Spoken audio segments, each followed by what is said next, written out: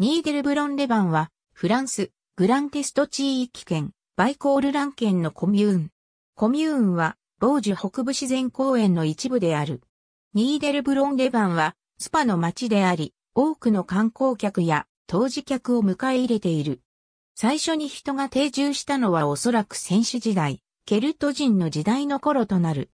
ビンテルスベール山地の集落跡には、神に捧げた碑文が見つかっているからである。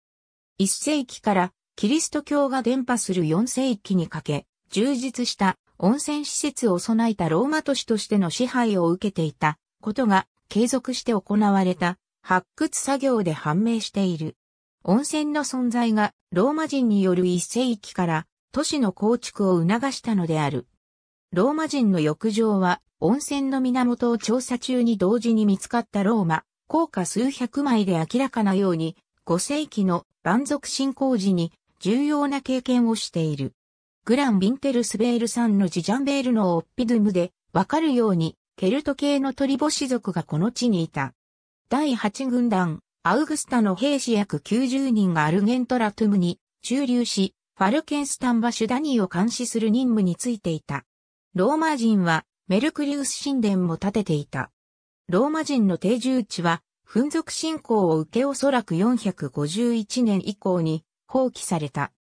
ニーデルブロンは16世紀終わりに繁栄の時代を経験している。ハーナウリヒテンベルク伯フィリップ5世は浴場を建設し、水源を引いて最初の水質分析を行った。同じ頃アルザスに宗教改革が及び、19世紀終わりまでニーデルブロンのカトリック教徒も、新教徒も同じ教会内で宗教行事を行っていた。30年戦争は悲劇をもたらし、都市も温泉も破壊され尽くした。1871年から1918年まで、ニーデルブロンはドイツ帝国に並行され、バート・ニーダーブロンと改名されていた。参照元 INSEE。ありがとうございます。